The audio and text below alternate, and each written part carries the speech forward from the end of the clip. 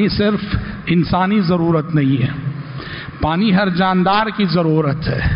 पानी की ज़रूरत सिर्फ़ इंसानों को नहीं, पानी की ज़रूरत सारे जानदारों को है।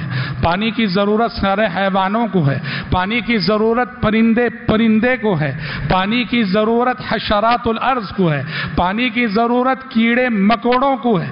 अलगर्ज पानी हर जी रू और हर जानदार मखलूक की बुनियादी ज़रूरत है।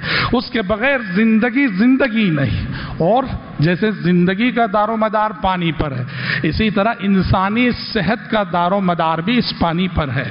पानी मिले मखलूक़ात को और साफ़ व शफाफ पानी मिले तो फिर इंसानी सेहत और जानदार जो मुख्तलिफ़ हैं, वो सब सेहतमंद रहते हैं। अगर पानी मिले, मगर साफ़ व शफाफ ना मिले। आलूदा हो पानी मुलवस हो पानी, गदला हो पानी तो फिर ये इंसानी सेहत के लिए भी और सारे जानदारों की सेहत के लिए भी बहुत बड़ा खतरा है। इस तरह भाइयों, सेहत का दारो मदार भी इसी पानी पर है। इसीलिए शरीयत ने हम देखते हैं कि पानी की हिफाजत की तालीम दी है। पानी को गदला ना किया जाए। पानी जहाँ भी रहे और जितनी मकदार में भी रहे, पानी को पाक साफ़ रखने की फ़िक्र करना हर शहरी की ज़िम्मेदारी है। आप सल्लल्लाहु अलैहि वसल्लम ने फरमाया, ला यबूलन अहदुकुम फिल्मा दाइम हरगिज हरगिज ये गलती मत करो। तालाब है, इतना बड़ा तालाब है। मैं एक आदमी पेशाब कर दूँगा तो क्या हो जाएगा?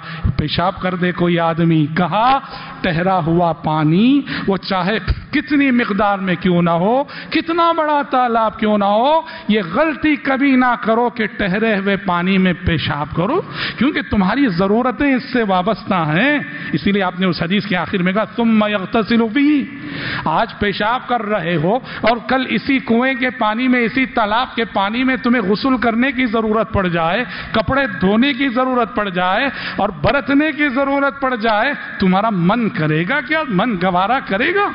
तो इस तरह हजरात, शरीयत ने पानी की अहमियत के सिलसिले में साफ़ साफ़ तालीमत दी हैं।